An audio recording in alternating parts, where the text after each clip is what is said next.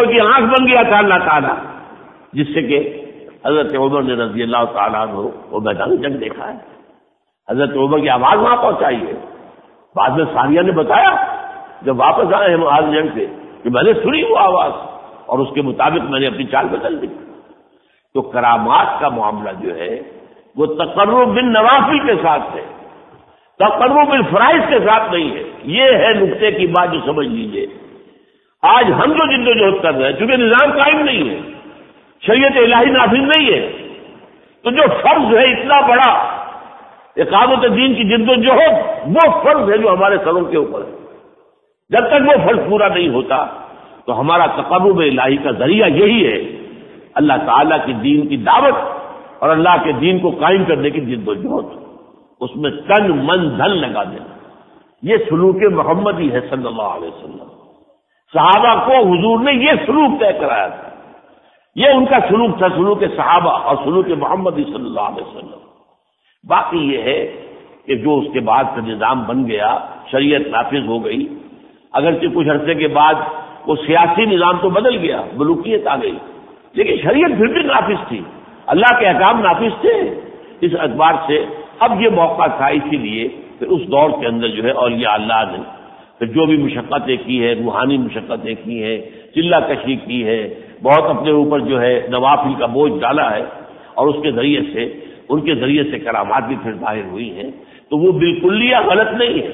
لیکن بالکل صحیح بھی نہیں ہے۔ آپ جو آپ پڑھتے ہیں کتابوں کے اندر، مبالغہ ہوتا آپ کو اگر کسی سے محبت ہو جائے، آپ اس کی محبت میں، اس کی تعریف سے مبالغہ کرنے لگے گی کسی سے آپ کو کوئی قد ہو جائے، دشمنی ہو جائے، تو پھر آپ کو اس کی برائی ہی برائی نظر آئے گی، خیر نظر نہیں آئے گا۔ لہٰذا ان میں ہمارے لیے کچھ صنعت نہیں ہے۔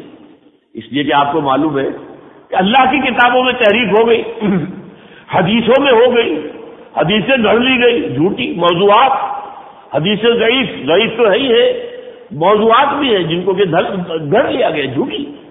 تو ظاہر بات ہے ان کتابوں میں جو تصوف سے متعلق ہے، تحریف کیوں نہیں ہوئی ہوگی؟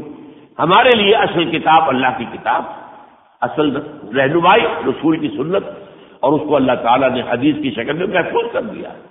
تو یہ اصل میں فرق ہے ایک بن نوافل، وہ ہے جو اللہ کا محبوب ترین ہے۔ آپ جو ہے، وہ تو ہے میرا، جو میرا بندہ فرائض کے ذریعے سے میرے قریب سے قریب تک ہوتا ہے۔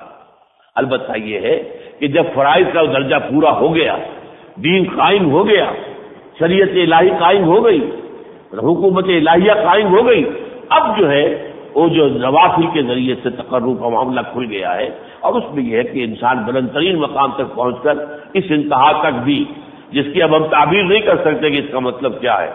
کہ اللہ تعالیٰ انسان کا ہاتھ بن جاتا بس یہاں بھی وہی ہے کہ الفاظ کو مانیں گے ہم۔ حدیث حدیث صحیح ہے، بخاری کی حدیث مانیں گے۔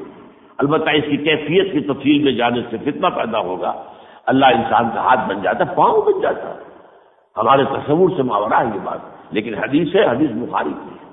اللہ تعالیٰ ہمیں اس معاملے میں بھی کہ تصوف نہ تو کل کا کل غلط ہے، نہ کل کا کل صحیح ہے۔ ہاں اس کے اندر درمیانی راستہ۔ اور اس میں دو راستے جو ہیں۔ تقرر بالفرائض، تقرر بن نوافی اور حضور کا یہ قول اور یہ قول اللہ کا ہے۔ اور یہ عزیز قدسی ہے۔ کہ جو سب سے زیادہ محبوب ہے، وہ تقرر بالفرائض ہے۔ البتہ تقرر بن نوافی کا درجہ بلند ہو جاتا ہے۔ لیکن یہ کہ اس کا تو موقع ہی کب آئے گا؟ جبکہ فرائض کا درجہ پورا ہو چکا ہو، اس سے پہلے تو نہیں آئے گا۔ لہذا جب تک اقامت دین ہو نہیں جاتی بالفعل تقرر بن نوافی کا کوئی موقع نہیں ہے۔